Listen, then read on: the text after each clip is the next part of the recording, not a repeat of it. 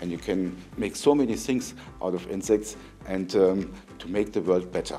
Are insects the future of farming? Researchers in Germany say there are many benefits to bug farming. While insects are consumed by people in cultures around the world, these scientists aren't farming them for us to eat. But the critters are a good source of protein and could be used to feed the animals that people eat. Our interest is to make insects as an alternative for the use of soybean derived proteins. That's because soybean farming is responsible for massive deforestation. Bug farming requires less land and water, making it more eco friendly which scientists say is something we all need to be conscious of.